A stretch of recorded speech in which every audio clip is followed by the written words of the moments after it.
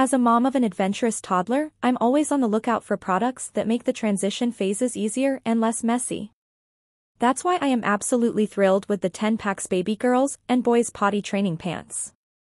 These training pants have been a wonderful addition to our potty training journey, and here's why they might just be what you need too.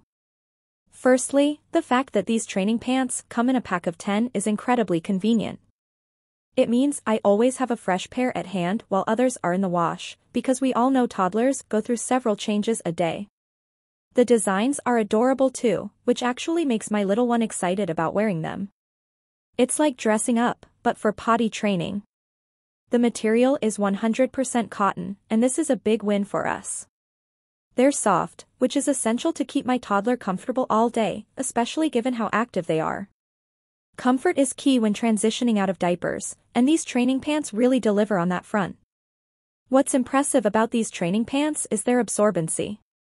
They handle small accidents very efficiently, which reduces messes and gives me a bit more peace of mind during those inevitable little slips along the potty training path.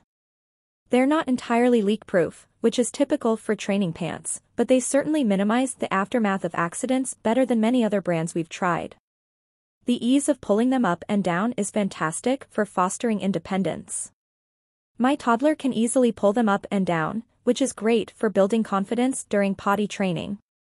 This feature alone has made our potty training experience much smoother and a bit less daunting for my little one.